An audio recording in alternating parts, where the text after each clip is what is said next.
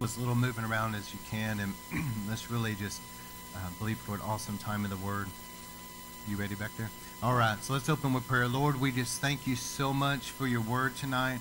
Lord, we love you know the worship time, and we love the precious Holy Spirit and the anointing and all of that, Lord. But we also we love your Word, and Lord, we just take a moment to thank you so much for the Word, of the Lord. Where would we be without the Word? And Lord, as we get into this word tonight, I ask you to speak through me under the anointing. Everything that needs to be said tonight, Lord, as Jesus taught us the parable of the seeds, seed and the sower, let your word go out as living seeds sown into good soil. Let your Holy Spirit even now move upon every one of us that are going to be listening to this and, and just help us to have good soil. That we'll be locked in and focused, that we're not going to be distracted by anything, but our minds will just be focused on what, what you're saying to us, Lord and that our hearts and minds are good soil. The word will go out as living seeds into that soil, watered by the Holy Spirit, and take root, grow, produce a hundredfold harvest of eternal fruit that remains until Jesus comes. Lord, let this be a powerful, effective time in the word. Let there be a washing of the water of the word. Let your light of your truth shine and dispel the darkness and lies and deception of the enemy and bring truth and revelation. And we know Jesus said the birds of the air try to steal the seed. So, Lord, we submit this word unto you. And we bind up in Jesus' name anything that would try to hinder or distract or steal this seed from any person. Any hindrance we commit to be bound in Jesus' name and back off right now. Lord, let your angels clear that out. And let the winds of your Holy Spirit carry this out among the nations. It's going to get where it's supposed to and accomplish what it's supposed to do. And we stand on the promise, Lord, that your word will not return void it will go forth and accomplish that which you sent it for to do. So, Lord, we thank you for it and we bless you and we expect it tonight that everything will be accomplished in and through this time in every life. In Jesus' name we pray. Amen. All right, so we're going to get in this tonight. If you could bring my lapel up just a tiny bit so I don't have to yell too much. All right, so we're on part seven. We've been going through the book of Revelation. And we got to Revelation chapter 4 where it says, Come up here. And so it's talking about the rapture. And so as we get into this tonight, um, I've had to take a few sermons to deal with the rapture because it's a controversial issue. It's, a, it's something a lot of people don't understand. And so I'm taking, you know, three or four sermons to explain it all. And so tonight I'm going to be dealing with more of the Greek words and the Greek perspective. And next week, I'll deal more with the Hebraic expression, understanding the rapture from that point of view. So, as we're going to go through the notes here tonight, if you don't have notes, I, I apologize. Um, there is some online, but if not, you'll still get a lot out of this tonight. So, just give me your best here. So, I'm dealing with part seven called harpazo. And harpazo is the Greek word for where we get the word rapture from. And so, you know, some people say, well, the word rapture isn't in the Bible. Well, actually, it kind of is. The word harpazo is the word that's used, and rapture is not a bad translation of that word at all. So somebody was asking someone that was fluent in Greek was or they were somebody that was not fluent was asking someone that is fluent in Greek, okay? Let's get this clear. anyway, was asking them, how would you describe the word harpazo? And he said, Well, he said, let's say that you were walking down the street or on the sidewalk, and your child had kind of wandered a little bit into the street, and there was a car coming, and you reached out and grabbed your child and kind of snatched them out of the way of danger. He said that is the best way to describe the word harpazo. so this word is translated in English as like a catching away a snatching away, or you could say rapture, but it's, it's something where you're being snatched from danger. It's a suddenly, it's a quick thing. And that's what we're looking at tonight, the harpazo of the Lord, okay? So here's something that's interesting as I go through this. Uh, I thought this was interesting. I was going to share this. So, you know, sometimes the spiritual resistance, the spiritual warfare against something is interesting. So there was a group of Christians that had went to a particular meeting. Let me just kind of read you the notes here of what they described it. There's an individual named Benjamin Creme who is a he practices the occult and he's you know one of these new age type people and he supposedly channels this being that he calls Lord Maitreya. Now you and I would call Lord Maitreya a demon, okay? But to people that are in New Age and the occult or whatever, they view this being as being some kind of a wise one or an ascended master or whatever. And so there was a group of Christians that went to Northern California to a very wealthy Episcopalian church where they had had this individual named Benjamin Creme come in and speak. Now, why in the world would a Christian church have somebody like that? That's a good question. And there were about 400 people present. That's disconcerting right there.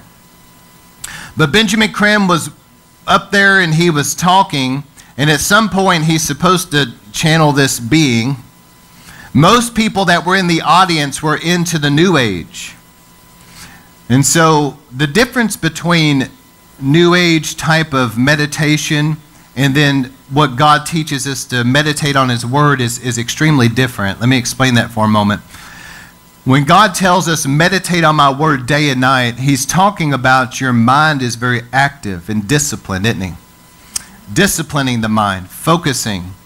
You know, just like you would churn uh, cream and turn it into butter, there's a churning. As you meditate on the Word of God, your mind is very active and disciplined and is churning the Word in you.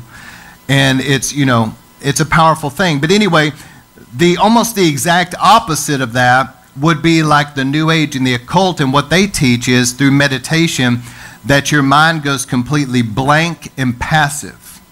That's very dangerous. And so, most of the people that were in this meeting were allowing themselves to go into like a trance and be controlled by this Lord Maitreya, but the Christians were not affected. And some of the Christians that were there were there because they were concerned about this. But they said this, I thought this was really interesting. They said that when this Lord Maitreya appeared through this guy, manifest and began to speak through him, that this weird being, which is a demonic spirit, spent 30 minutes of his speech ridiculing the rapture. Does anybody else find that interesting? That the devil would think it's important enough of a subject to ridicule it for 30 minutes. Think about that. Sometimes just the fact that the enemy is willing to spend so much time targeting something is a very good sign. So I'm going to talk about that tonight. One of the individuals I love his teaching so much is Dr. Cho out of South Korea. He has some of the best teachings that I've ever read or studied on prayer. And he did an incredible teaching on Revelation and Daniel. Anyway, he's made this statement in a book he wrote called The Apocalyptic Prophecy. And he said this He said, regrettably, even though the Bible makes it very clear, like a clear distinction between the two comings of Christ, he said some people are still mistaken in interpreting what will happen. And when they teach that the church will also go through the tribulation, they not only hurt themselves, but they also lead others astray. And I know that's not their intention, but that is the way that it is. And it, there's great teachers like Derek Prince and others that see the rapture very clearly in the scriptures. So I'm coming from that angle tonight. So, what exactly is the rapture? Well, it's interesting because the early church in Paul's day, the early church was living with an expectation that Jesus could come anytime. So keep that in mind. And I'm a product of the Brownsville revival, and, and I remember just Steve Hill talking about things all the time. And I remember our brother Steve would say stuff like this. He'd say, You know, this thing can go on and on and on, but we better live like he's coming tomorrow. He's right. See, the early church was living that way. They were living a life expecting the Lord to come any moment. Of course, he didn't come in that generation, it wasn't the right time. And so Paul had to write to the Thessalonians because they were concerned because some of the church members were dying. And they were saying, Well, Paul, you know, what's going to happen? We're waiting for the Lord to come. There's people dying. They didn't understand what to do. And so Paul began to write to them about this concern. But before I get into that, what exactly is the rapture? You know, people need to think about this for a moment. See, it talks about when Jesus comes, it talks about life from the dead. And when he comes to Israel and all of Israel is saved, it, it talks about like life from the dead. And the Bible refers to Jesus as the first fruits of our resurrection. What people have got to understand is this all those over the last couple thousand years that have died in Christ, their spirit and soul is with the Lord, but their bodies are still in the grave. When the rapture takes place, what is actually happening is this that we're being given our glorified bodies. It's literally the resurrection of the dead. Isn't that awesome? See, right now, when somebody dies in Christ, they go to be with the Lord, and that's their spirit and soul, but their body's still down there. When the Lord comes in that way as the rapture, the Bible says the dead in Christ will rise. And those that are alive and remain that are ready will be changed in the blink of an eye. What's happening is it's literally the resurrection of the dead. So it's that first resurrection. So I'm going to read a few scriptures tonight because some people have never heard this taught before, and so we need to deal with that. I'm, I'm concerned because I've, there's certain Bible teachers through the years that have been such a great, great blessing to me. And I think that many of you probably share this concern, but I'm personally concerned because a lot of our generals of the faith are going home to be with the Lord. A lot of those that, that were such powerful teachers of the Word of God are going home to be with the Lord, or different things are happening because of their age. They're not really active in ministry. And I'm concerned because there's a generation that's coming up that doesn't really study the Bible like the previous generation. And so there's a lot of people, I get a lot of response there's a lot of people out there that are starving for the word and they're just not getting it. And there's a lot of people out there that are hungry for end time prophecy to be taught, but it's not taught very often. We're living in a time in these latter days where the coming of the Lord is near, the signs are clear. And this is a time that we need to be teaching on end time prophecy, probably like no other time because we're literally going into it. And so 1 Thessalonians 4, starting at verse 13, Paul had to deal with this issue. So if you're following along, 1 Thessalonians 4, starting in verse 13, Paul said, I do not want you to be uninformed, brethren, about those who are asleep, talking about those who have died, so that you will not grieve as do the rest who have no hope, talking about the heathen that die in their sin. He said in verse 14, For if we believe that Jesus died and rose again, see, Jesus is the first fruits of our resurrection, even so God will bring with him those who have fallen asleep in Jesus. For this we say to you by the word of the Lord, that we who are alive and remain until the coming of the Lord will not precede those who have fallen asleep. Now look at this description. For the Lord himself will descend from heaven with a shout, with the voice of the archangel, and with the trumpet of God, that's the shofar, and the dead in Christ will rise. It's a resurrection. Then we who are alive and remain will be caught up together with them in the clouds to meet the Lord in the air. Where? In the air. This is important because I'm going somewhere with this tonight. And so we will always be with the Lord. Therefore, comfort one another with these words.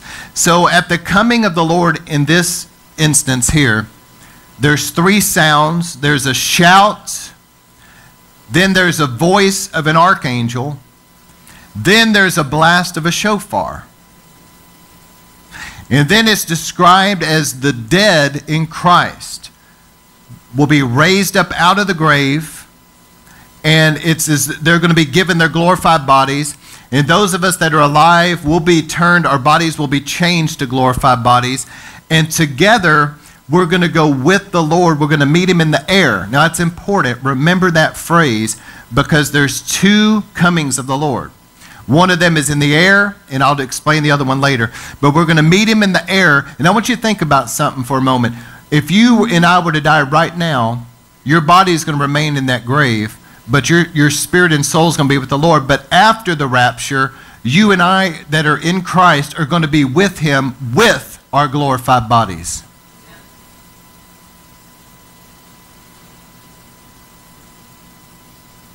And so 1 Thessalonians 1 9, it says this. This is 1 Thessalonians 1, verse 9. So, up until this point, I've been talking about the book of Revelation. We went through the seven churches. We went through Revelation 1, then we went through the seven churches. And then we got into chapter 4. And chapter 4 says, Come up here, and you don't read about the church on the earth the entire rest of Revelation. And it's interesting as we studied the seven churches of Asia that Ephesus represents the early church and they lost the revival. They lost the move of God. It moved into the dark ages. But remember, Philadelphia was the church that was saw the restoration of that. The restoration of power again. It's like a revival church a missions minded church. And what did the promise of God, what was it to the church in Philadelphia? That they would not have to go through what was coming on the earth, they would be taken out. And when we got into Revelation 4, come up here, and then we saw this revelation of heaven. And so that's what we're dealing with. We're dealing with this catching away, this harpazo. In 1 Thessalonians 1 9, it says, For they themselves report about us what kind of a reception we had with you, and how you turned to God from idols to serving the living and true God, and to wait for his Son from heaven, whom he raised from the dead. Now, notice that. Again, the reference to the resurrection, okay? That is Jesus, look at this, who rescues us from the wrath to come.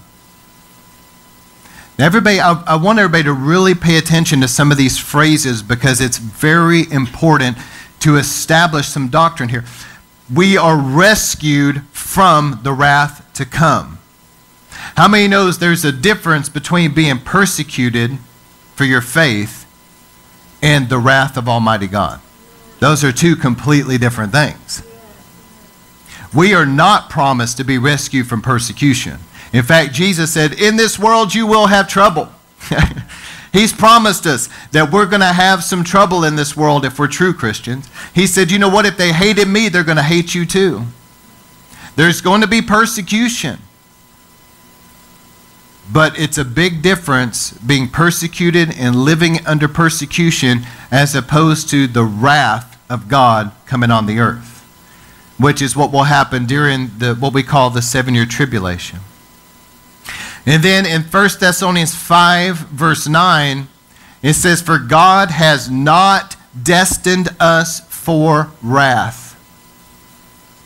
Now, obviously, that I believe that's referring to the tribulation time, but it also refers to going to hell in the wrath of God, okay? We're the true people of God, the true elect, those that are born of God, those that have been bought by the blood of Jesus. God's true people, we are not destined for wrath. But he said, For obtaining salvation through our Lord Jesus Christ, who died for us, so that whether we are awake or asleep, we will live together with him. Therefore, encourage one another and build up one another just as you are doing. Isn't that awesome? And then in Revelation, now remember that Revelation, not everything in Revelation is chronological in order, okay? But in Revelation 16 15, there's a reference here. So in one instance, Jesus is going to come like a thief in the night. It's going to be a suddenly, like a blink of an eye. He said, You will not know that exact moment. It'll just happen. It's a quick thing, like a thief in the night. But then there's this other coming of the Lord where all eyes will see him. And so I'm going to explain these two comings here in just a moment. But in Revelation 16 15, he references that first coming. He says, It's behold, I'm coming like a thief. Blessed is the one who stays awake. Now remember that staying awake. Remember that sleeping has to do with prayerlessness in the Bible. So staying awake has to do with being a watchman, being a prayerful person. So he said, Blessed is the one who stays awake and also keeps his clothes unstained. How many knows the Lord is not coming for a filthy, dirty bride that's all caught up with the world. That's not who he's coming for. He's coming for a bride without spot or blemish. And then it says, so that he will not walk about naked and men will not see his shame. So there's something about staying awake and keeping yourself pure that has to do with him coming like a thief. Did everybody catch that? Now, I already taught on the Jewish weddings of times past, so keep that in mind as we go through it because that has a lot to do with this thief in the night. In Luke 21 36, Jesus said this Be always on your watch. Now, remember, what is being a watchman? A prayer warrior. Not sleeping, being prayerless but being somebody that's a prayer warrior. Listen, we see the times that we're living, don't we? I think that most people that are truly God's people, not everybody that goes to church is really saved. I understand that. But God has his remnant. And those that are truly God's people that have the Holy Spirit living in them, they know that something is up right now. They see the signs in the earth, they sense it. They know that the coming of the Lord is drawing near. And because we see that, this is a time that we need to make sure that we're purifying ourselves from anything that's unclean. We also need to make sure that we're keeping our watch, that we're being a prayerful people. And Jesus said this so be on your watch and pray. Look at this, that you may be able to escape all that is about to happen. Now remember that word escape there that Jesus Christ said. This didn't even come from Paul or John or Peter. This came from the mouth of Jesus himself. He said, Pray that you may be able to escape what's coming upon the earth, what's about to happen, and that you'll be able to stand before the Son of Man. See, one of the things that has been kind of a ridicule against those that believe in the rapture is like they say an escape mentality.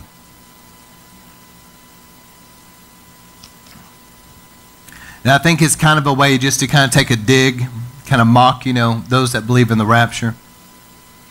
But the thing is that Jesus Christ himself said to pray that you escape these things.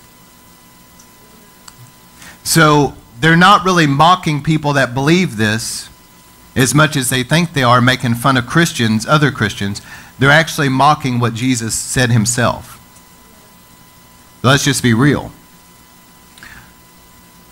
So that's one of the um, attacks against those that believe in the rapture, that they have some kind of escape mentality. But here's the thing I believe that I'm here to occupy till I come.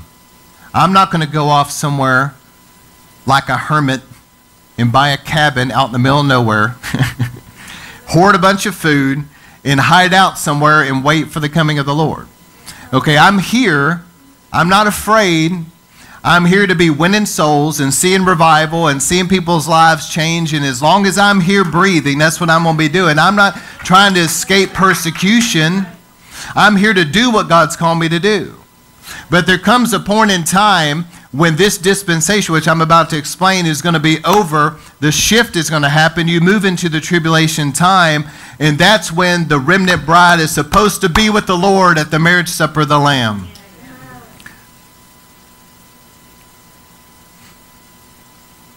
So we have this, there's two different comings of the Lord. So let's talk about the first one. Well, let's talk about the one that's the um, all eyes will see him after the tribulation time. So, after the seven years, Jesus is going to come, and I'm going to give you some descriptive terms here in the Bible. But if I was to describe to you a day, and I said, okay, on this day, It was like 90 degrees. It was hot out. The sun was shining. It was really humid. And I was to give you all these descriptive terms about that day. And then I was to come later and I was talking about a day. And I said, but that day it was kind of chilly. The wind was blowing out of the north. It was overcast. It was drizzly. Would I be talking about the same day? Or am I obviously talking about two different days here? Okay. Just keep that in mind, because there's no way this is the same day.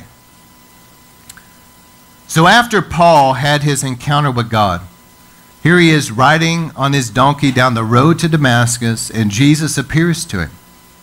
He's knocked off his donkey on the ground, blinded.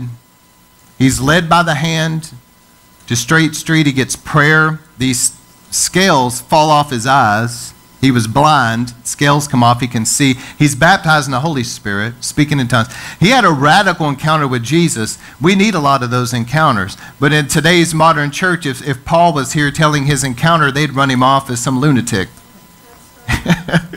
anyway, and so we need some encounters with the Lord. But Paul had this life changing encounter after this happened to him, for all these years he was a Pharisee. He thought he knew everything, and everything he had believed up to that point about Jesus was just flat wrong.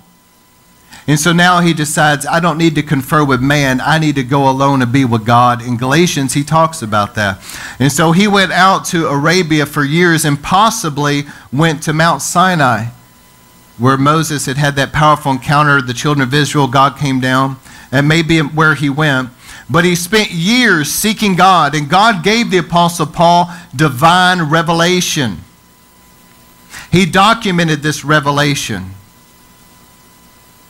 And I'm going to show you by the end of this how when Israel came to Sinai, it was a picture and type of the rapture. So, one event that I'm about to describe where all eyes see him when he comes one event is seen by the entire world. Think about that. One event after the tribulation, when Jesus comes, it's not a meeting in the air. His feet touch the Mount of Olives, and that's significant because the Mount of Olives splits in two. It's not a meeting in the air. And the Bible describes it that all eyes will see him. Look at this. I'm going to read different descriptive terms about this coming. At the end of the tribulation, here's how it's described Revelation 1 7. Behold, he is coming with clouds, and every eye will see him. Everybody say, every eye. This is not a thief in the night where you have to watch and pray because you could miss it. Do you see here? It's like describing one day being hot and sunny, another day being cold and drizzly. This is two different descriptions here.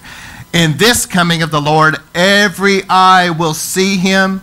It says, even those who pierced him, talking about the Jews in Israel, and all the tribes of the earth will mourn over him, so it is to be. In Matthew 24 27, Jesus describes it and says, for just as lightning comes from the east and flashes even to the west, so will the coming of the Son of Man be. This isn't a thief in the night here. This is like a bright explosion of light shining all over. Luke 24 or 17 24. For just as lightning, when it flashes out of one part and shines to the other, so will it be when the Son of Man, uh, when he comes in that day. Here's another descriptive term in Acts 1 9. You remember how Jesus, Peter asked him, Well, when are these things going to happen? And he said, It's not for you to know. And then in Acts 1 8, kind of the famous chapter we all know, he said, But you'll be my witnesses in Jerusalem, Judea, to the ends of the earth, as you're clothed with power, you know. Well, look at this. In Acts 1 9, after Jesus said these things, he was lifted up while they were looking on. So, wouldn't it be something? Here you are, let's just put ourselves there that day. We're right outside Jerusalem, we're on the Mount of Olives. Jesus is standing on the Mount of Olives, and he's sitting here talking to us. He's giving his final words. And Peter's saying, Hey, so when's everything going to happen? And Jesus said, It's not for you to know. But he said, You, you need to go wait in Jerusalem till you're clothed with power. Then you're going to be my witnesses. And all of a sudden, while he's talking, he leaves them with that. Make sure you go to Jerusalem. You're going to be clothed with power.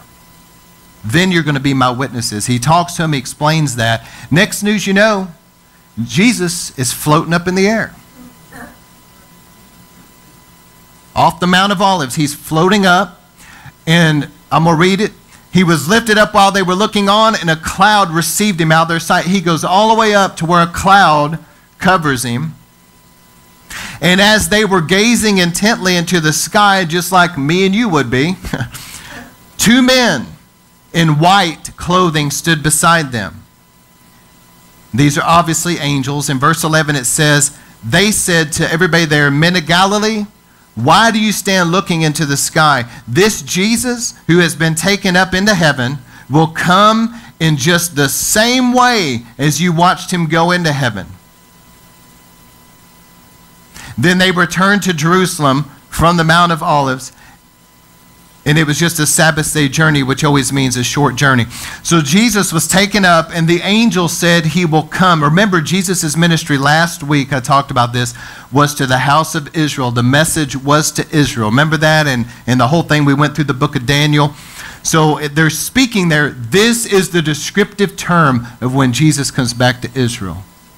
Where's Jesus' feet going to land when he comes back to the nation of Israel after the tribulation time on the Mount of Olives? The angel said it. Just as he left, in the same way he's going to come down and his feet are going to stand on the Mount of Olives. In Zechariah 14, verse 4, it describes that. Zechariah 14, verse 4. It says, In that day his feet will stand on the Mount of Olives, which is in front of Jerusalem on the east. And the Mount of Olives will split in its middle from east to west, a very large valley, so that half of the mountain will move toward the north, the other half toward the south. That's going to be at the coming of the Lord to Israel. Isn't that something? And he's going to walk into Jerusalem. He's going to sit on the throne of his father David to fulfill the prophecy Gabriel gave Mary.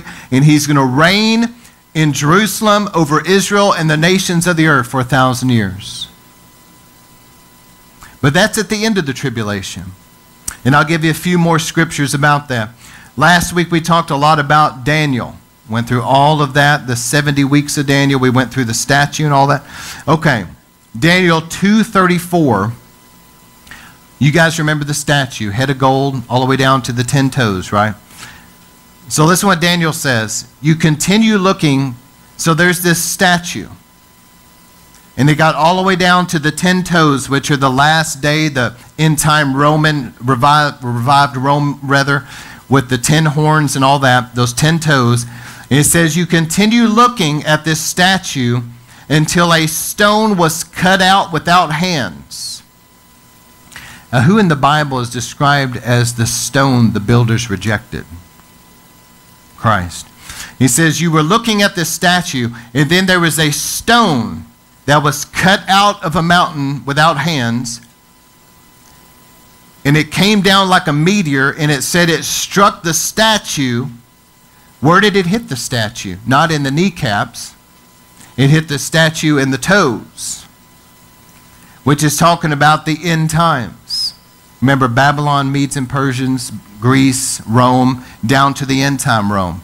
So the ten kingdoms. So it comes down and it strikes the end days, it hits those toes. And then it says in verse 35 then the iron and the clay, the bronze, the silver, the gold were crushed all at the same time and became like the chaff from the summer threshing floor, and the wind carried it away, so that not a trace of it was found. But the stone that struck the statue became a great mountain and filled the whole earth. Isn't that awesome? Remember, mountains speak of governments. What it's saying here is that Jesus, it's like being cut out of the mountain and he's being thrown to the earth like a meteor and he hits the world's kingdoms they crumble before him, And then his reign is going to grow and expand until it covers the entire earth. Y'all are quiet tonight, but that's an exciting scripture. Revelation 19:11 talks about this same thing. He said, "I saw heaven standing open, and there before me was a white horse, whose rider is called Faithful and True." Who is this? This is Jesus. With justice he judges and makes war. His eyes are like a blazing fire. On his head are many crowns, and he has a name written on him no one knows but himself. He is dressed in a robe dipped in blood, and his name is the Word of God. And the armies of heaven follow him, riding on white horses and dressed in fine linen, white and clean. Coming out of his mouth is a sharp sword with which to strike down the nations coming out of his mouth a sharp sword to strike down the nations. Does that sound like Daniel right there? And he will rule them with an iron scepter. He treads the winepress of the fury and the wrath of God Almighty. Isn't that something? So when Jesus comes, the Bible's clear that the kingdoms of this earth will become the kingdoms of our Lord in Christ. In Revelation 11 15, the seventh angel. So during the tribulation time, there's going to be seven trumpets and seven bowl judgments. And when it got to that seventh trumpet, see, the without making it too complicated, the seventh seal would set in motion the trumpets. And the seven trumpets, that seventh one set in motion the bowls, okay? And so when it got to that last trumpet there, the seventh angel that sounded it said, with a loud voice in heaven, he said, The kingdoms of this world have become the kingdom of our Lord in Christ, and he will reign forever and ever. So he's, he's setting in motion those bowl judgments, and there's a declaration there because the bowl judgments are the last thing to happen before he comes. And there's this declaration this angel makes saying, It's at hand, it's near, that the coming of the Lord, the Messiah, will come, and his reign will be forever and ever. So, do you see this descriptive term here about when Jesus comes at the end of the tribulation time? All eyes are going to see him. His feet are going to land on the ground. It's not going to be a thief in the night or in any way some secret thing. When the Bible says all eyes see him, all the nations are aware of this activity. It's not a suddenly, he's there to take over. This is at the end. See, this is what I've been describing all along. There's different prophecies for Israel as opposed to the church. Two completely different things. And this is where most people misinterpret the Word of God because they don't know the difference between the two. Jesus' second coming that I'm describing here is to the nation of Israel. Prophesied throughout the Old Testament, prophesied in different places in the New Testament. He's coming to Israel to reign out of Jerusalem on the throne of David. And when he comes, he's going to send his angels. They're going to gather the elect, which has to do with the remaining Jews, which I've already talked about, and any remaining Christians. They're going to be gathered to him. And the Bible says about Israel at that time, it's at the end of the tribulation. Jesus is physically there in Jerusalem. That all those, they're going to look on him whom they've pierced. They're going to mourn and they're going to accept him as the Messiah because there he is standing there. And what Paul predicted in Romans, then all of Israel shall be saved in a day. Isn't that something? So that's at the very end. So that's the prophecies regarding Israel. But here's the prophecies regarding the church, two completely different things. How many knows that when you're dealing with Israel, you're dealing with a secular nation? You're dealing with a group of people that the overwhelming majority of them do not know Jesus. Especially in the leadership, they reject him as the Messiah. The promises for Israel are there, they're true, they will happen. Nothing can stop that. But it's not the same thing as the promises to the church, they're different. You're dealing with two different people groups. Everybody can see that. So when we're dealing now with the church, I'm going to talk about the catching away, the harpazo. See, Israel is not going to be caught away and meet him in the air and go somewhere. Where I am, there you will be. That's not going to happen.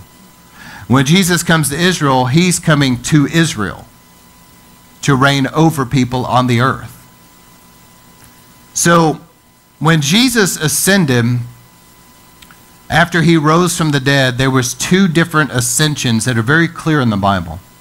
Remember how the ladies found him? He was like a gardener. They thought he was a gardener. They didn't recognize him at first. And then when they did recognize him, he said, Wait, don't touch me because I haven't ascended yet.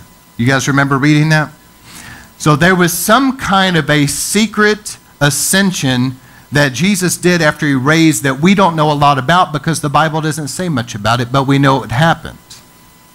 I suspect that Jesus went in like a great high priest into the tabernacle of heaven and he dealt with something there. Maybe it went back to the original rebellion with Lucifer or something like that, but he dealt with something with his own blood there. Okay? Then he came back, he's on the earth, and the women had come and they had talked to the disciples and said, We saw Jesus raised from the dead. And they believed, Peter and John and them ran to the tomb, and they believed, but he was gone, right? Thomas was the one that didn't believe, he doubted. But then Jesus appears to them walking through a wall, which would freak anybody out. Amen. Walks through the wall.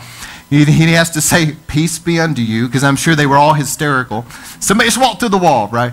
And here he is. And he, what does he say to them? Touch me. Put your finger in my hand. Put your finger in my side and he appeared to them. So he had already ascended and descended once, and it was some secret thing that we don't know a lot about. And then we know about the second time he ascended because it was on the Mount of Olives, and we just read about it. So there was two ascensions. In the same way, there's going to be two descensions. So this is the one that's before the tribulation time. And again, I don't have time to get back into this, but you remember reading about what is, okay, I described what is the rapture? Well, it's the resurrection of the dead. It has to happen because we have to be given our glorified bodies. So, what exactly is what we call the tribulation time? What is it? If the bride is not appointed to wrath, and we know that we're not, what is God dealing with? What is the point of this seven year period? Well, you have to understand that in Jeremiah, I believe it's chapter 30, it describes this, and the Bible calls it this the days of Jacob's trouble. So, what was Jacob's name changed to? Israel. So, it's the days of Israel's trouble. And I talked about it last week. You guys know the 69 weeks of Daniel up into the Messiah. There's still that last week, that seven year period. And when you deal with that, it's not the days of the bride of Christ's trouble, it's the days of Israel's trouble. A stubborn nation that has rejected the Messiah. Jesus said, You did not receive me when I came in my name, but you will receive another when he comes in his. So he's prophesying that there's going to be a false Messiah come. Israel will sign a peace treaty with him for seven years. And when they do that, it's going to set in motion a seven year, that 70th week of Daniel, the days of Jacob's trouble. So that's what the tribulation's about. That it's the days of Jacob's trouble, where God is going to deal, his wrath is going to come upon the earth, he's going to deal with Israel. There's a lot to that. I don't have time to get into it, but that's the focus. It's not on some kind of thing about the bride, it's about the nation of Israel. Okay, it's different. So now we're going to dealing with the bride of Christ. So Luke 12 32, Jesus says, Do not be afraid, little flock, for your Father has chosen gladly to give you the kingdom. Sell your possessions and give to charity. Make yourselves money belts that do not wear out, an unfailing treasure in heaven, where no thief comes near nor moth destroy. For where your treasure is, your heart will be also. And let me just say this don't get too caught up with the things of this world. We're just passing through. Have an eternal mindset. While we're here, we could be gone tomorrow. But while we're here, our focus is do what God's called us to do. Where your treasure is, your heart will be also. Be dressed in readiness. You guys remember I talked about the ancient Jewish weddings. She would wear a veil and she would keep that lamp and the extra oil, remember? He said, Look at this, be dressed in readiness. As she was waiting for the bridegroom, she had to be ready for him to come at any time like a thief in the night. She had to be dressed in readiness. And he said, And keep your lamps lit. The only way that young virgin kept her lamp lit is if she had extra oil. You guys remember? He said, Be like men who are waiting for their master when he returns for the wedding feast, or from the wedding feast, so that they may immediately open the door to him when he comes and knocks. Blessed are, are those slaves whom the master will find on the alert when he comes. See, there's all these warnings Jesus keeps giving us be awake, be alert, be sober, be dressed in readiness, meaning don't have your garments soiled. Have your lamp lit that has to do with having a prayer life. Have extra oil. Be ready. I'm coming like a thief. You won't know the de- exact day or moment. I'm coming. Be ready. All these warnings. Truly I say to you that he will gird himself to serve and have them recline at the table and will come up and wait on them. Isn't that something? Whether he comes in the second or even the third watch, and finds, finds them so, blessed are those slaves. Now let's just get this straight. I've already talked about the ancient Jewish wedding and how he'd go away and come back and steal her in the night. So I can't go back over that. But anyway, this young virgin girl had to make herself ready. Jesus is saying here that when he's going to prepare a place for us that has to do with the wedding feast, when he comes like a thief in the night to snatch away his bride, a meeting in the air, we're going to go to the marriage supper of the Lamb, the wedding feast. That's where we're supposed to be. And look at what Jesus says, because this sounds like the final Passover, doesn't it? He says, When I come, he said, I will gird myself to serve. You remember how he wrapped a, something around his waist and he washed the feet of those that were there? Isn't this something? This is a very humbling scripture. He says, I'm going to come and I'm going to snatch away my bride. I'm going to take you to the place I prepared for you, this wedding feast. And he said, I'm going to gird myself to serve and have them recline at my table, and I will wait on them. Wow. So whether he comes in the second watch or even the third watch, late into the night, he finds them so blessed are those slaves.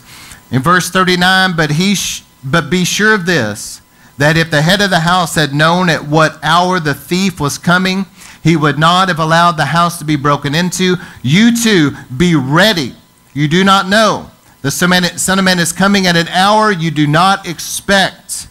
And Peter said, Lord, are you addressing this parable to us or to everyone else? And the Lord said, Who then is the faithful and wise steward? Who my master will put in charge of his servants to give them their rations, their food at the proper time. And I said this a few weeks ago. Pastors and leaders, you better be feeding the people the food at the proper time and quit speaking a bunch of motivational speeches. Verse 43 Blessed is the slave whom his master finds so doing when he comes. Truly I say to you, I will put him in charge of all my possessions.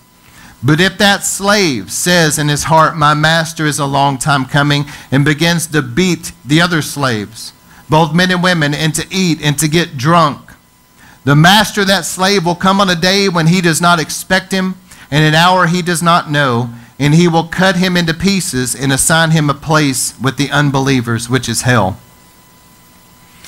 And I read that scripture a few weeks ago and just simply pointed out I don't know what cut to pieces means, but I don't want to find out.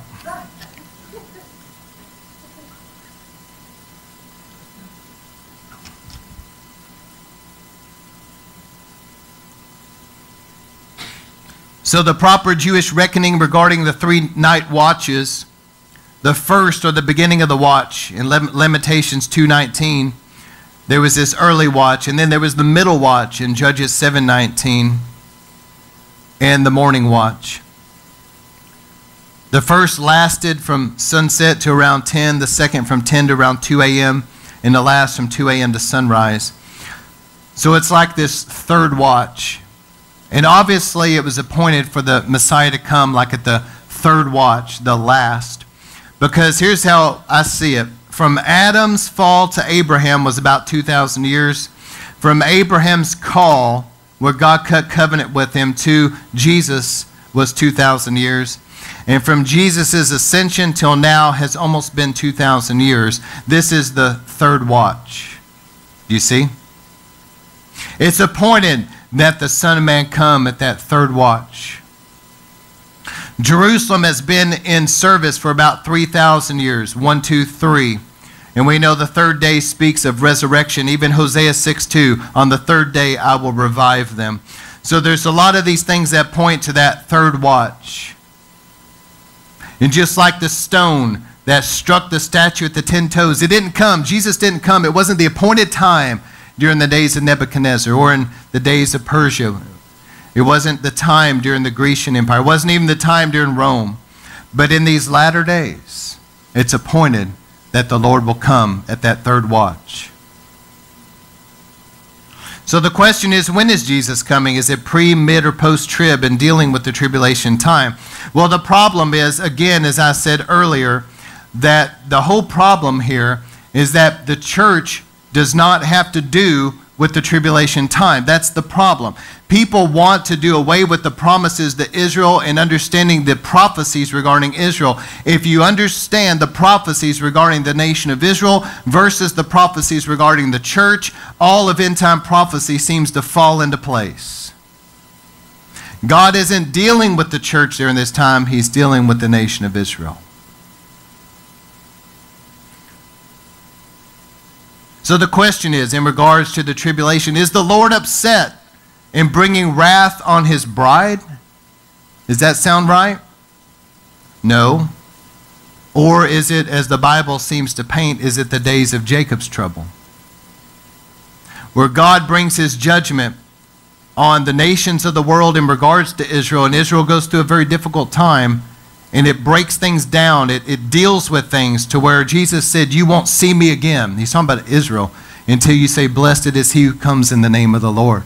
That Israel gets down to a place after the Antichrist. I've talked about this where you guys know what I'm talking about. The abomination that causes desolation. He sets himself up in the temple, and two thirds of the Jews are killed, and it's an oppressive thing.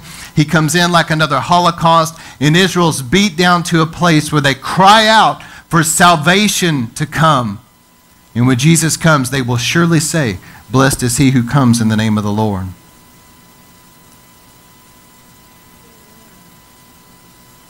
It's interesting in regards to the church, and I'm going to deal with a few more things in regards to the rapture of the remnant bride. So here we are, people that have been born of God, those that truly are born of God. You understand, I'm not talking about being religious. You can go to church your whole life and still go to hell when you die. I'm not talking about being religious. I'm talking about truly being born of, uh, born of God. You're born again. You're washed in the blood. Your sins are forgiven. You're in a covenant with God.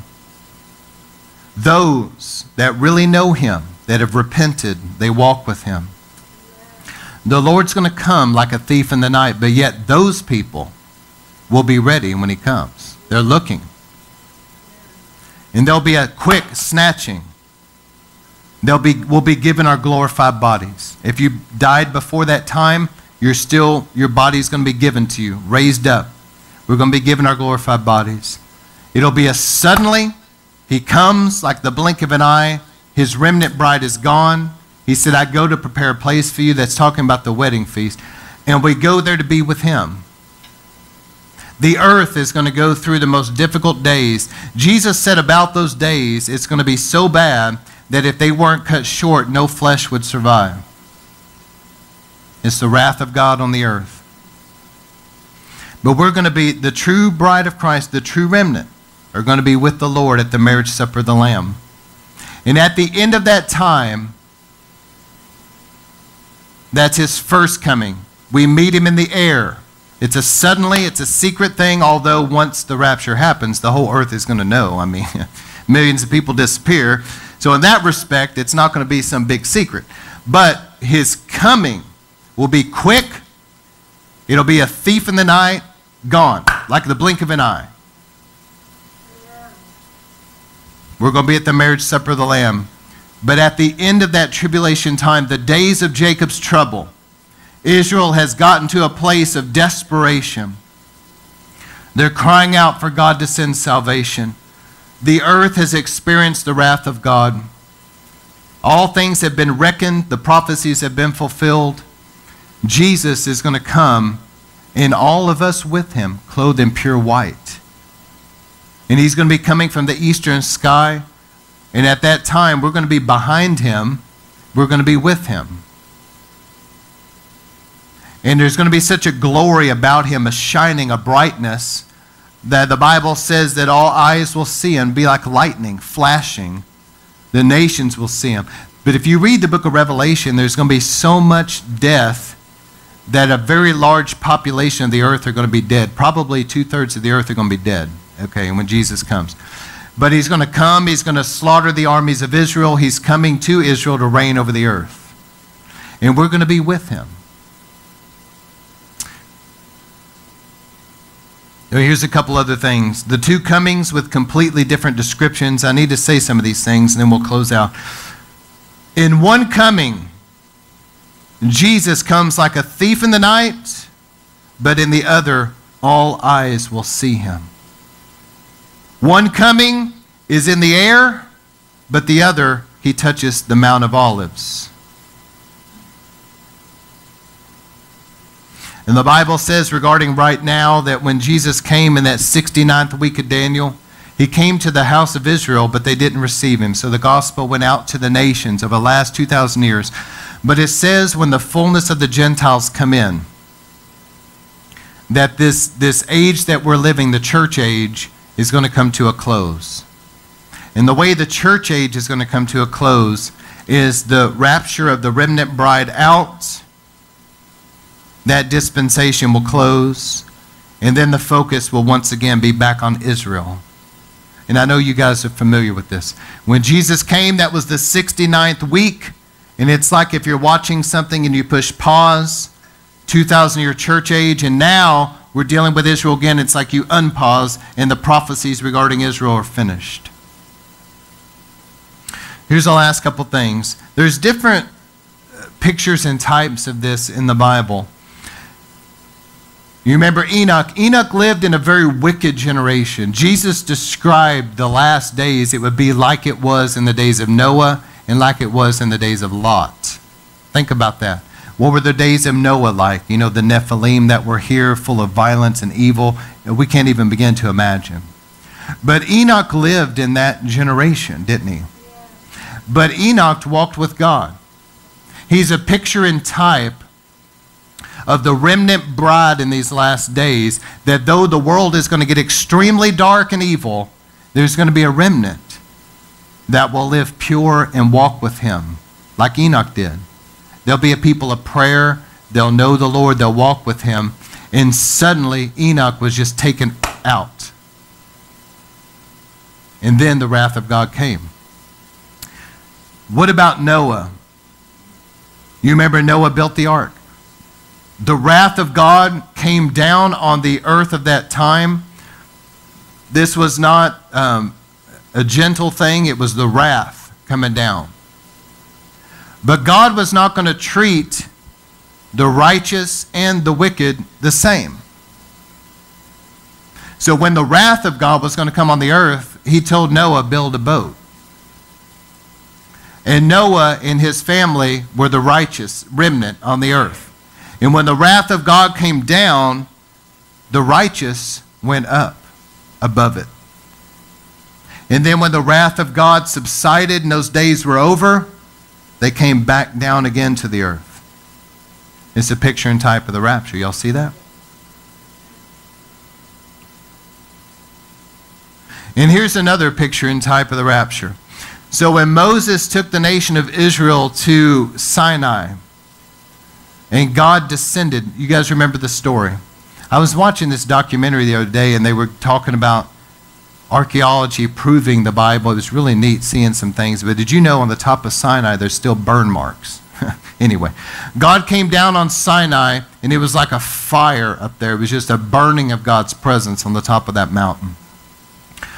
And the people of Israel were around the mountain, and they saw this. You guys know the story, right? I mean, it, you know, the earth trembled. There was a loud shofar blast that I'm sure was extremely loud. And the children of Israel were so scared, they said to Moses, Can you go talk to him? And we'll just stay back here, you know.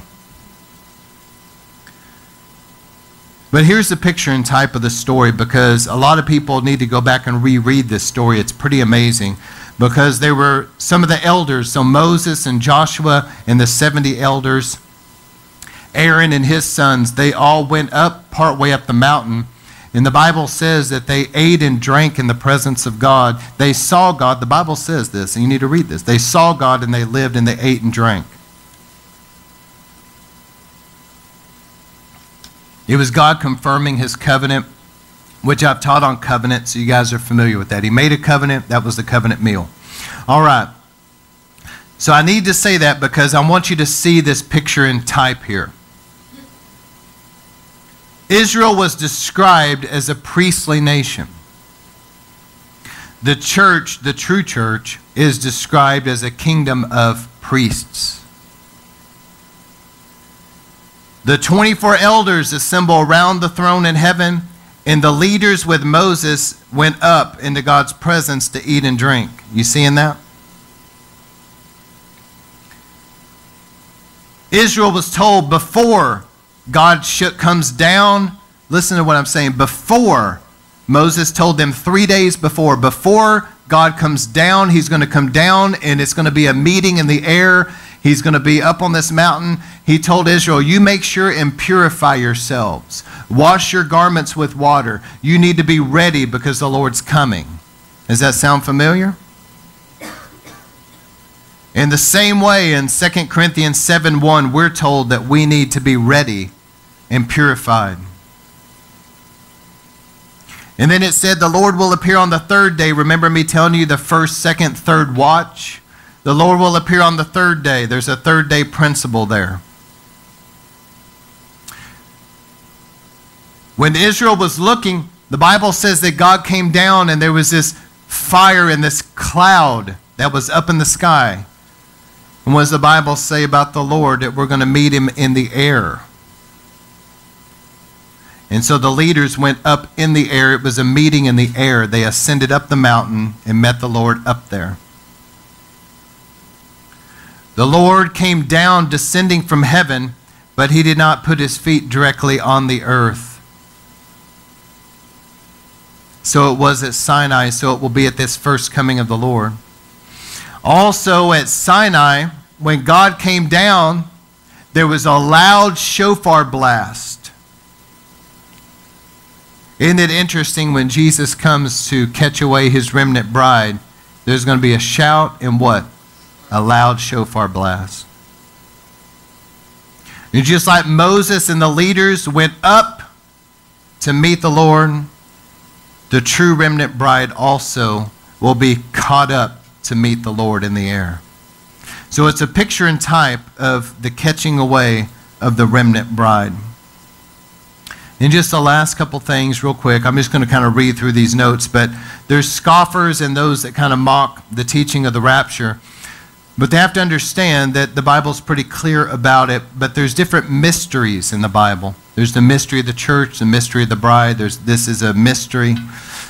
And 2 Peter 3 3 warns us that about walking after our own lust and those that mock the coming of the Lord. So there's going to be those that mock the coming of the Lord and mock the teaching of the rapture. So there's a three opportunities here. There's a post, a mid, and a pre-trib. Most people don't believe in the post-trib. I mean, think about it. You're caught up at the end just to come right back down. It doesn't really make sense. Doesn't hold water. Very few people think that way anyway. The mid-trib, a lot of people say, well, what about the last trump? Next week, I will talk about that. That has to do with the Feast of Trumpets. And they think it has to do with something during the trumpet judgments. um, but that's not what it's talking about. The seventh trumpet is a declaration that the Lord, the kingdoms of this world bec- will become the kingdoms of the Lord, and it sets in motion the, la- the bowls, the last seven judgments. So it doesn't fit. And so the only thing that's left is a pre trib, which does fit. You'll notice it's interesting in Revelation chapter 9 that the Bible is speaking about the river Euphrates, and it puts the focus back in the Middle East on Israel, doesn't it? That's the focus. You notice that after the Lord said, Come up here in Revelation, you do not read one time after that about the church. But it becomes conspicuously about Israel. 144,000 Jews specifically mentions the 12 tribes, doesn't it? Specifically mentions Israel, and it talks about that woman in Revelation 12 is the nation of Israel. And just a couple more things, a lot of information, but one of the arguments is not only an escape mentality, kind of a mocking, but also they say that the rapture was taught only in the 1800s by a particular woman. It was popularized. And some great teachers of the Bible have gone back and studied out history. Perry Stone did this, Chuck Missler, others and have found that that's not true. They have found multiple teachings that go back to the early church stating that they believe in the rapture. One of them was a man named Ephraim of Nisibis. In the eastern branch of the church, he lived from 306 to 373. And listen to what he said. He, he said, For all the saints and the elect of God are gathered prior to the tribulation as to come, and are taken to the Lord, lest they should see the confusion that is about to overwhelm the world because of our sins. So, this is not something that's just a recent teaching, it's something that's ancient. God's people have always believed in a catching away. And I want to close with this. And I want to make this point really clear. The Bible does not teach at all, any place, once at all, that just because you pray a prayer and accept Christ, that you're automatically going to be raptured. It does not teach that. As a matter of fact, it teaches that we better be ready. If you could just say some little prayer and live however you want and still be raptured, why is it that Jesus keeps saying in other places keep referencing make sure your garments are pure, make sure that you're ready. So here's some things, I'm just going to read through it. So, who's going to be ready when the Lord does this suddenly, this quick catching away? Number one, Luke 23 36, those who watch and pray. Hebrews 9 28, only those who are looking for him. There are some people that have got their focus totally on the world, don't they? But there's a remnant that are looking for him. And note the parable of the unprofitable servant in Matthew 25 30. Note the parable of the ten virgins in Matthew 25. All ten were virgins, but only five were ready when he came. That's interesting. Remember that, because it was a teaching about his coming. It wasn't five virgins and five harlots, they were all God's people but only half of them were ready. Why are we warned that he will come at a time we do not expect? And to make sure we're ready. See, backsliders will not have the time to repent when it's a blink of an eye. You understand? This is a promise to the overcomer. This is a promise to a remnant bride that has made herself ready. This is a promise of those like Enoch that are walking with the Lord. There's three sounds that occur at the rapture. There's a shout, there's a voice of an archangel, there's a shofar. But remember that in John 12 29, whenever Jesus was being baptized by John, and there was a voice in the heavens, This is my son whom I'm well pleased. There were some people that did not hear it. There were others that only heard thunder, but there were others that heard what was said. Not everybody is going to be ready, and not everybody has ears to hear. Those that say there's no rapture or it's away, like hundreds of years away, friend, we're close. We're close. It will surprise me over the next 10 years or so if we don't see it, but you know, who knows the time. But I'm just saying it would surprise me. We're very, very close to the rapture. And there's, a, there's warnings in the Bible. 2 Peter 3 3, I've already mentioned the warning of scoffers. Don't listen to the people that mock the coming of the Lord. And don't listen to the people that mock the rapture. They don't know. I love them. I'm not saying this mean or critical. They just don't understand. But there's going to be a harpazo, whether they believe it or not. Did y'all hear me? Whether they believe it or not, whether they teach against it or not, there's going to be a harpazo, a sudden catching away. It will happen. There's warnings in the Bible about discerning the times. Remember when Jesus came the first time and Israel did not see it, he rebuked them. He said, You can look at a fig tree and see whenever it's time for it to bear fruit. You can look at the sky and discern the times. But you didn't discern the time of my coming, so you will be left desolate. A strong rebuke for those that don't know end time prophecy and don't know the timing of the Lord's coming. Listen, I know that we're not going to know the exact day, which is 24 hour period, mind you. We're not going to know the exact hour, which is 60 minute. You understand? We're not going to maybe know that exact moment, but we all better know that His coming is near. Those that are really His, you can sense it in your spirit that the coming of the Lord is drawing near. You sense the urgency. And many that are hearing this know what I'm talking about. And you see the signs in the earth, and you know this isn't like days that are just usual, like the last hundred years. Something's up. You know the coming of the Lord is drawing near. We're discerning the signs. There's a warning about the servants of God delaying his coming in Matthew 24 48. The Lord warned us we would, he would come when it's not expected. There's a warning against the lukewarm. The Laodicean church. You talk about feeling like a fish out of water. Here we are, a revival church living in a lukewarm generation. A warning that in the latter days there would be a falling away from the faith and great deception. It's happening right now. There's a warning, 1 Timothy 4 1 through 6, about dead religion. And Galatians talks about who has bewitched you. You better be careful that you don't get caught up in some dead religion. This is a time that we need to be walking close to the Lord. In John 14, he said, I go to prepare a place for you. He says, In my Father's house are many mansions. Already there. He didn't go to build you a mansion, it's already there. What's he going for? To prepare the marriage supper of the Lamb, the wedding feast.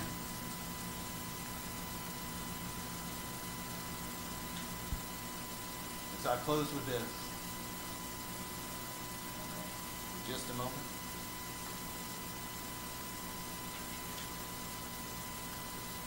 Almost made it. So close. Where's that mouth I'll need all right. Now close with this. The Bible talks about watching and praying. Matthew 25, 13, therefore keep watch. You do not know the day nor the hour. And Isaiah 52, verse 1 says, Awake, awake, Zion, and be clothed with strength. We're living in a time to be awake, speaks of being a prayer warrior, being a watchman, being awake.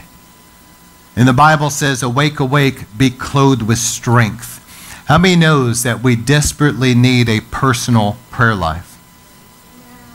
Your personal prayer life is how you're clothed with strength.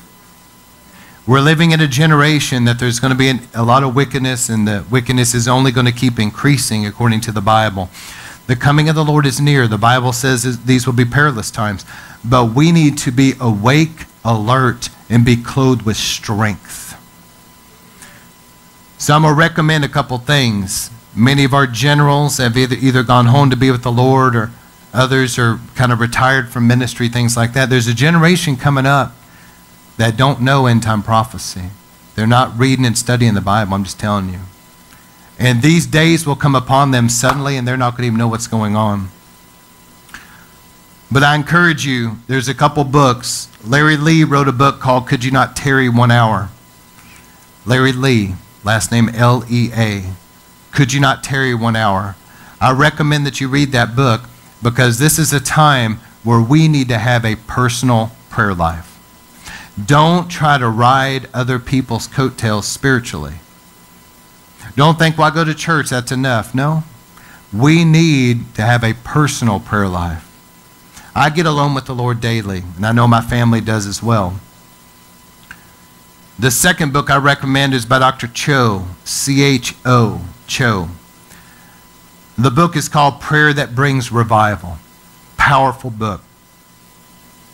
And the final book is Derek Prince, Derek Prince, and it's called The Secrets of a Prayer Warrior.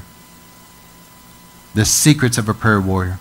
Those three books are powerful books on how to have a powerful, effective prayer life. And this is a time that Jesus said to watch and pray. You do not know the day nor the hour. So we need to be ready. How many can sense that something's up? There's stirring. I mean, the signs are everywhere. We can see what's going on in the earth. I know that you see it. We're seeing even in America, you're seeing an increase of persecution against Christians. You're seeing, even in America, you're seeing a loss of personal freedoms.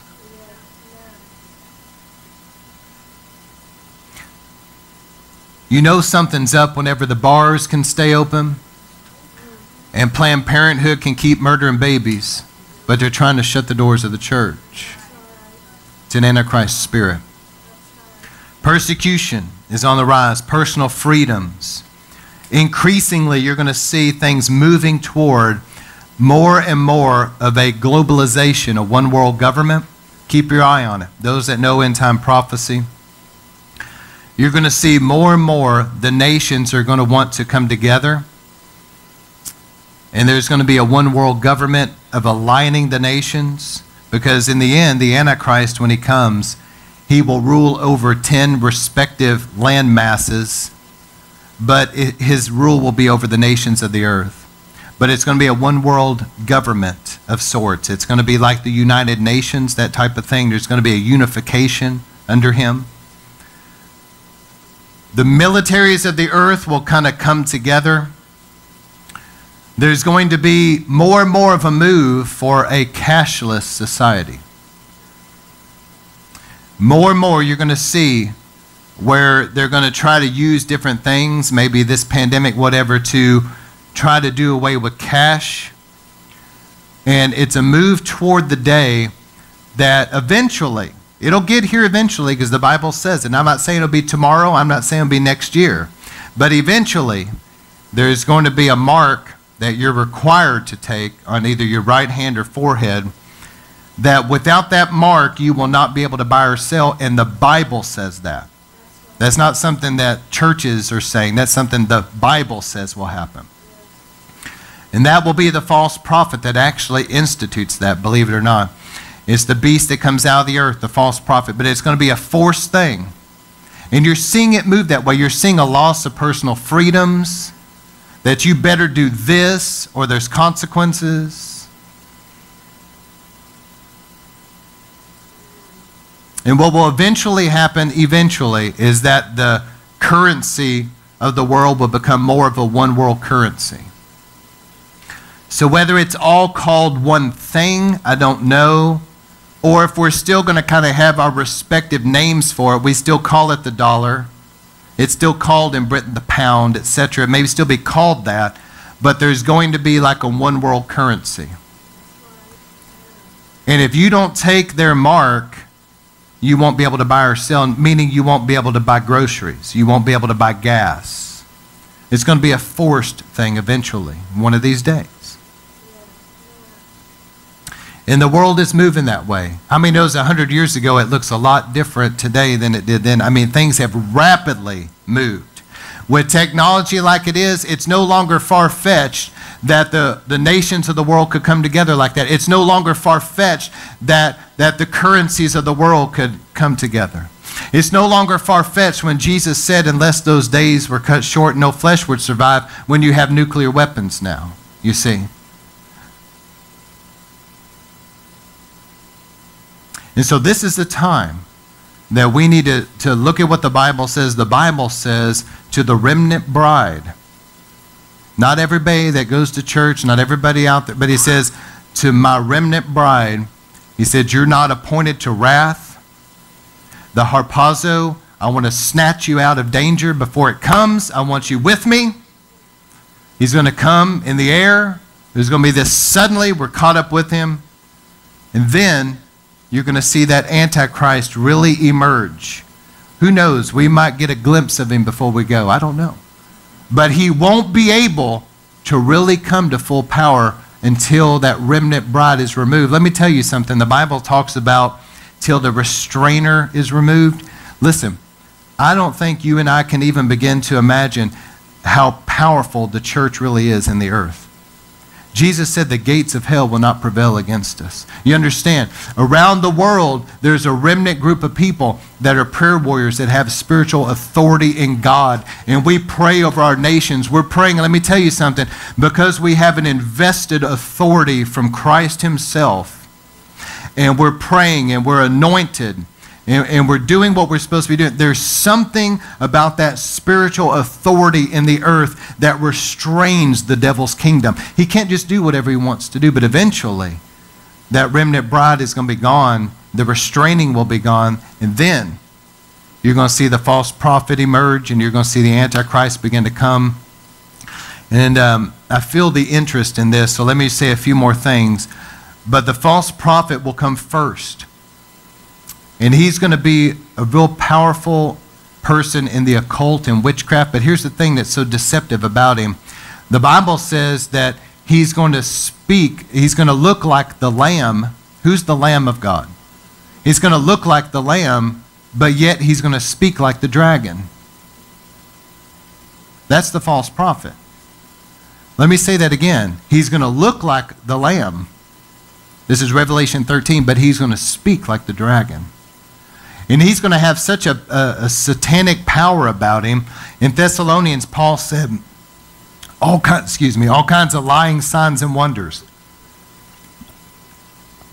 In Second Thessalonians 2, talk about all kinds of lying signs and wonders will, will accompany the emerging of the Antichrist. See, the false prophet's going to have some kind of ability about him with the devil. Now, Revelation 13 says he's even going to be able to call down fire from heaven in full view of men. Meaning like holding up some kind of like maybe a satanic staff or something and literally like at his command lightning striking the earth in full view of people that type of thing. And because of that the nations of the earth will be deceived by this guy. And what's the false prophet going to do? He's a spiritual figure that's going to have a lot to do with the religions of the world kind of coming together and finding common ground, which, by the way, that's been going on for a long time now. Did y'all know that?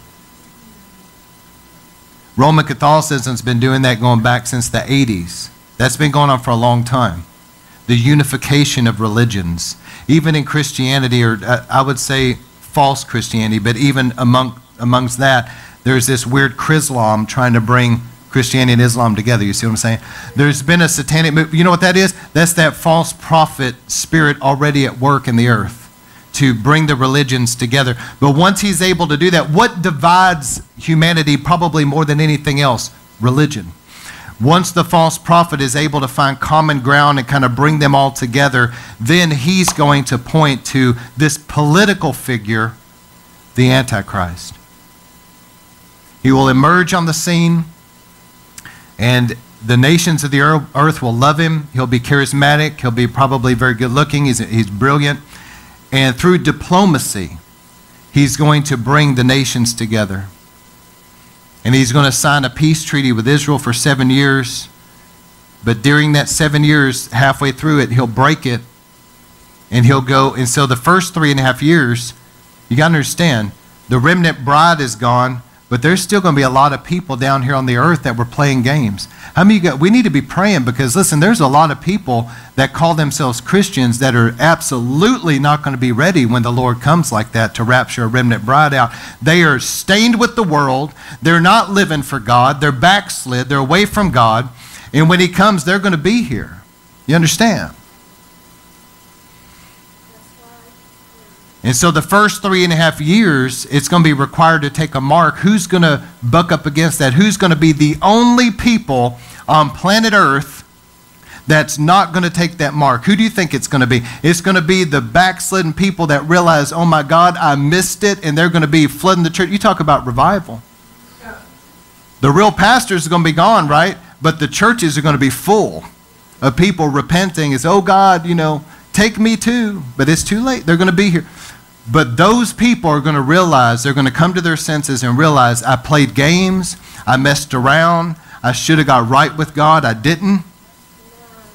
And they're not going to take the mark, but they're going to be killed for it most likely, or they'll go off the grid into hiding somewhere. That's the first three and a half years. The wrath of the Lamb of Jesus is going to come on the earth. You're going to see like those trumpet judgments.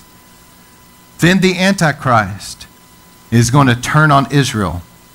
They've already turned on the church world, the, the remaining Christians that were here, that shouldn't be here. We're not appointed to wrath. They shouldn't have been there. Does that make sense? But he's now halfway through the tribulation time, he's going to turn on the nation of Israel. He's going to set himself in the temple.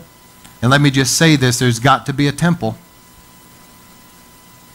See, the great battle was for the nation of Israel to even exist. In 1948, they had to go to war against all odds. They become a nation in a day. But there had to be a Jerusalem. And so in 1967, they weren't even trying to take land, they're just defending themselves in the Six Day War. Um, they come under great warfare, and against all odds, not only do they win the war, but they take Jerusalem. Why? Because prophecy. There had to be a nation of Israel, there has to be a Jerusalem capital, and there has to be a temple. That's the next battleground. See, that may be what the Antichrist signs a peace treaty about, is for the temple to be finished and in service. But anyway, the Antichrist, halfway through the tribulation, is going to set himself in the temple.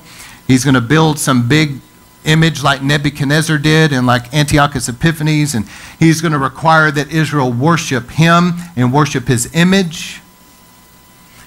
And even secular Israel, these Jews know better than that.